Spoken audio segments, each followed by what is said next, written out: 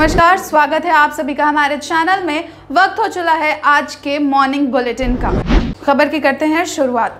नामांकन के आखिरी दिन अरबल और कूर्था में कुल इक्यावन प्रत्याशियों ने नामांकन पर्चा दाखिल की।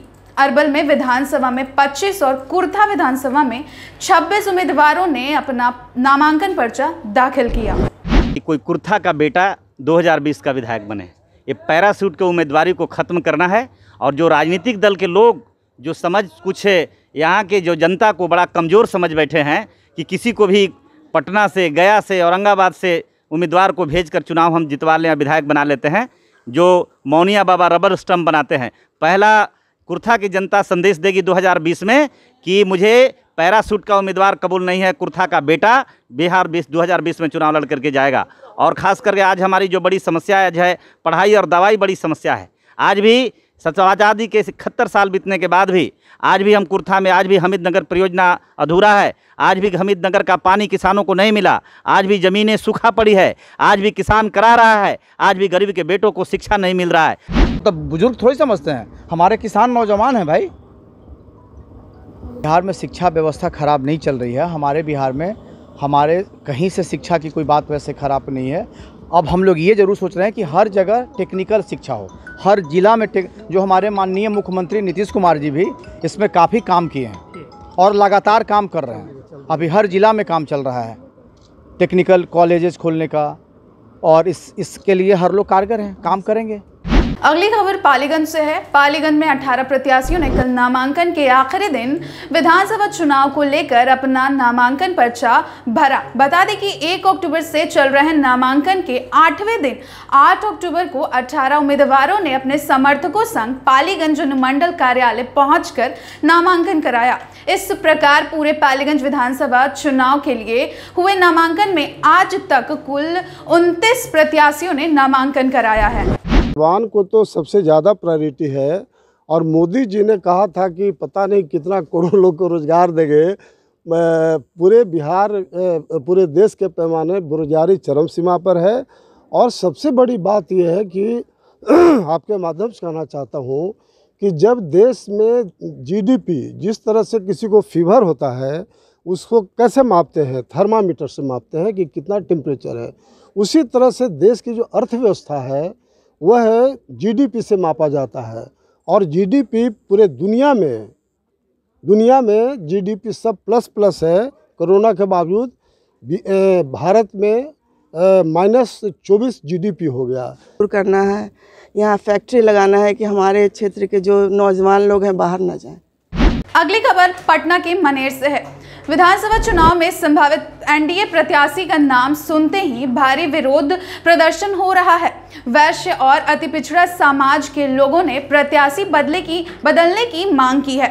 बता दें कि मनेर में दूसरे फ़ेज़ यानी तीन नवंबर को चुनाव होना है। एनडीए की ओर से संभावित प्रत्याशी को बदलने की मांग को लेकर बड़े पैमाने पर विरोध शुरू जताते हुए लोगों ने बेटा चौक से लेकर मनेर रोड तक विरोध मार्च निकाला है। भाजपा की ओर से संभावित उम्मीदवार के रूप में प्रदेश प्रवक्ता निखिल आनंद का नाम सामने आया है।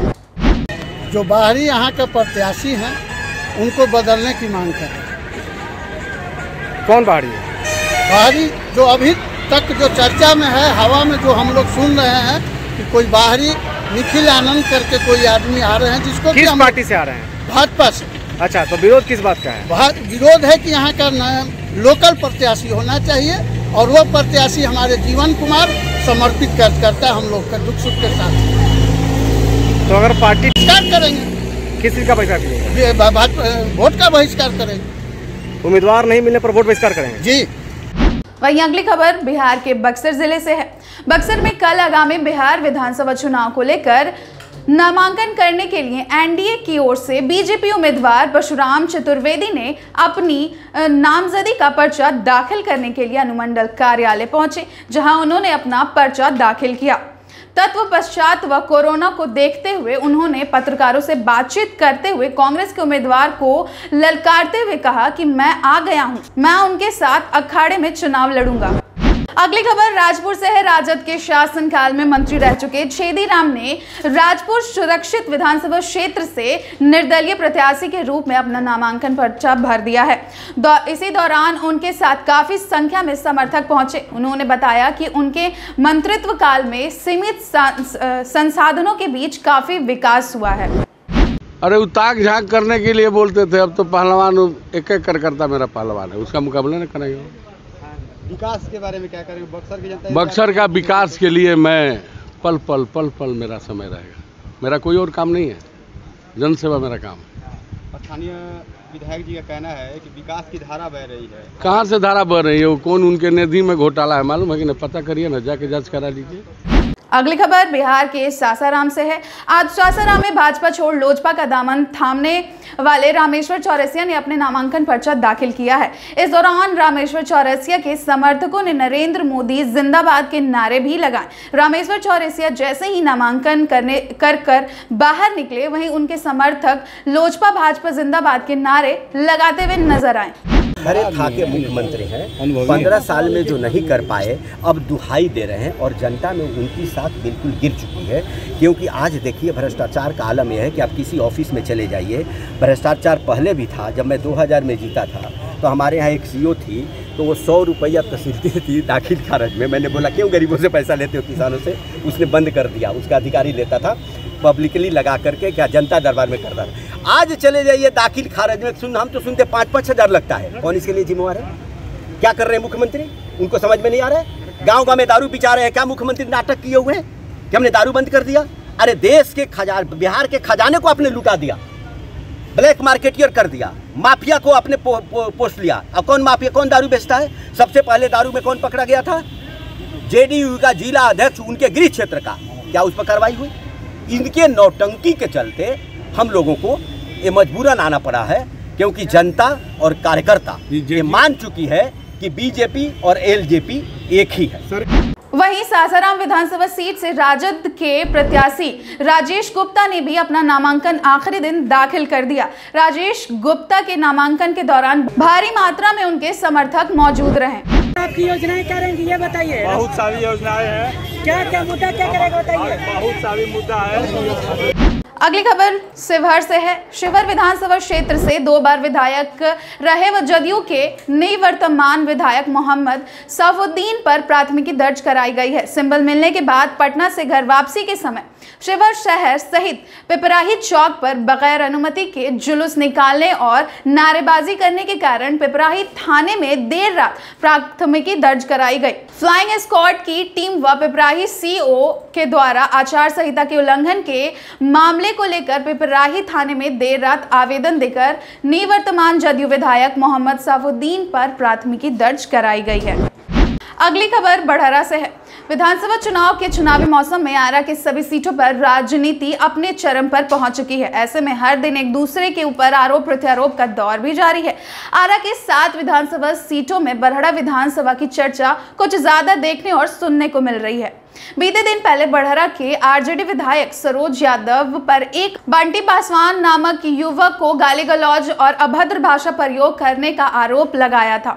सरोज यादव और बंटी पासवान के बीच बातचीत का ऑडियो वायरल भी हुआ था, जिसकी वजह से बढ़हरा विधानसभा की सोशल मीडिया पर जमकर किरकिरी हो रही थी। उन्होंने सफ़ाई देते हुए बताया कि वो जो ऑडियो कॉल है, वो उनका नहीं है। ये राजनीतिक षड्यंत्र किया जा रहा है। मौके पर आरोप लगाने वाले युवक बंटी पासवान भी मौजूद थे। पूरी तरह से यकीन है आपके ऊपर? कोई विधायक जिसे बातचीत नहीं हुआ था? नहीं।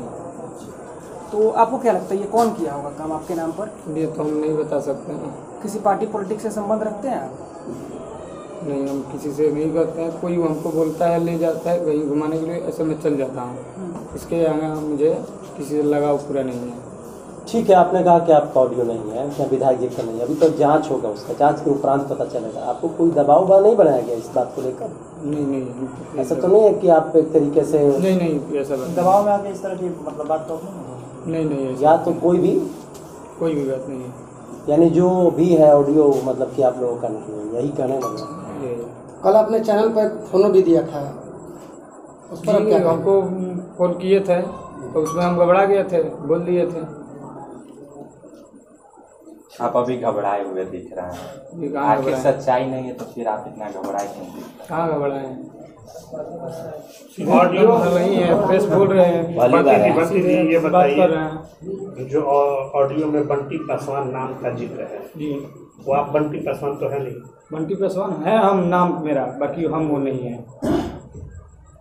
नहीं वो ऑडियो किसका है? ये तो नहीं बता सकते हैं विधायक जी ये नहीं ना है? नहीं विधायक सरोज यादव पे जो आरोप लग रहा है गाली देने का तो क्या ये आरोप सही है? नहीं। अगली खबर सुपौल से है। सुपौल में तीसरे चरण में विधानसभा चुनाव होना है। इसको लेकर पुलिस अलर्ट और चौकस हो चुकी है। सुपौल पुलिस अधीक्षक मनोज कुमार के नेतृत्व में सदर, एसडीओ और सदर, डीएसपी, बिहार पुलिस और अर्धसैनिक बल के साथ मिलकर ज़िले की एंट्री पॉइंट पर संगन वाहन जाँच कर रहे हैं। जाँच के दौरान किशनपुर थाना क्षेत्र के एन एच पर टोल प्लाजा के पास संघन जाँच अभियान के दौरान एक वाहन से पाँच लाख रुपए बरामद होने के बाद पुलिस और चौकस हो गई है। वहीं जाँच के दौरान एक दूसरी कार में सवार एक व्यक्ति के पास लाइसेंस पिस्टल भी जब्त किया गया है। रुपए और पिस्टल मामले की जाँच लगातार पुलिस कर रही है। तो आज की मॉर्निंग बुलेटिन में बस इतना ही। हम शाम में एक बार फिर से हाजिर होंगे। दिन भर की बड़ी खबर लेकर। नमस्कार।